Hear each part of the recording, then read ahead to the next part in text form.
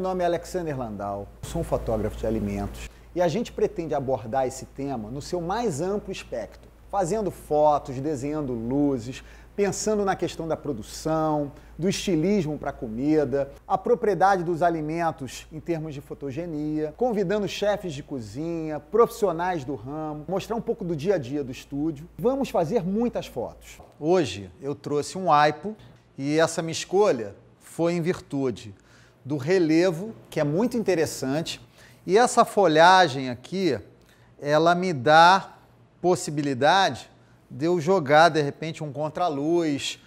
Quando eu não tenho nenhum tipo de amarra, layout ou coisa e tal, eu gosto de usar um sistema de luz onde eu misturo flash e luz contínua. Vou usar alguns pontos de luz para me dar uns assentos de iluminação e para dar um ar mais campestre, eu trouxe uma terrinha aqui. Eu acho que pode ficar bacana. Vou dar uma borrifada, como se fosse o orvalho da manhã. Nós diminuímos a luz ambiente do estúdio para eu poder enxergar melhor o meu processo de construção da luz. Já posicionamos a luz principal, que é um flash, e antes de mexer com as luzes de cinema, eu vou colocar um rebatedor branco para dar um leve enchimentozinho.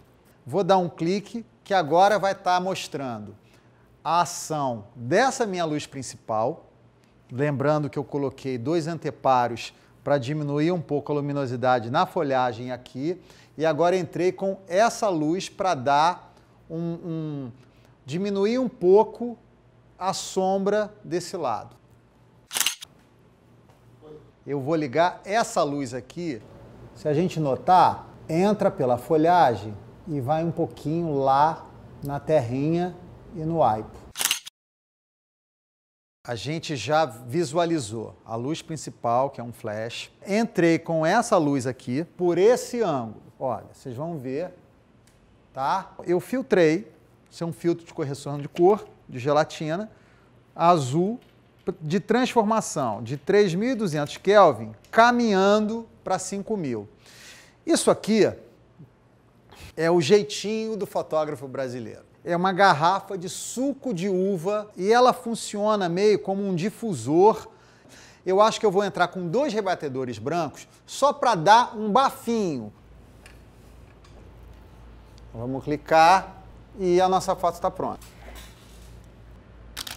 Bom, então a gente finalizou a nossa imagem. Esse lado aqui foi aquele lado que a gente colocou uma cabeça de luz com aquele telescópio.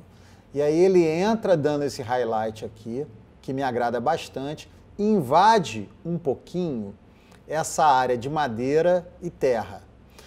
Me agrada também essa diferença de luminosidade. Eu tenho um marrom mais fechado e um marrom mais lavado.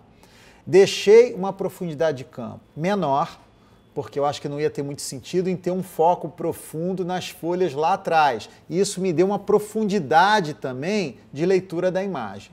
Enfim, fiquei satisfeito, com certeza vai entrar no portfólio